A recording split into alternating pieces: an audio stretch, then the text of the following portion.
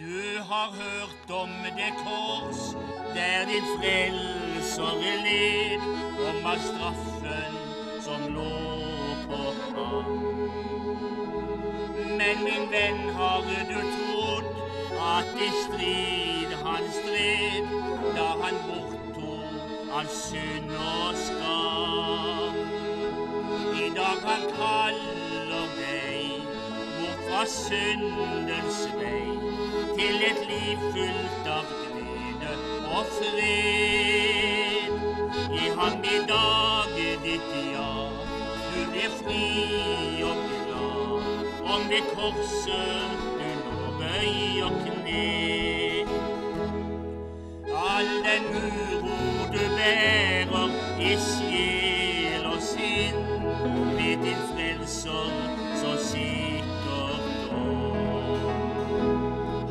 er prøvet i alt, bare lukk ham inn, som med frelse og trygghet kom.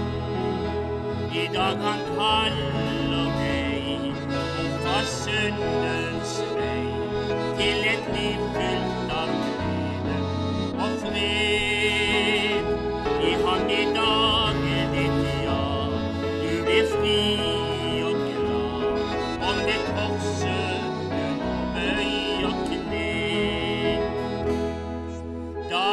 Frelserens blod rense bort all synd, skjenke fred til et sinn. Han vil løfte din sjel opp av verdens dynn, og deg lede til himmelen ned.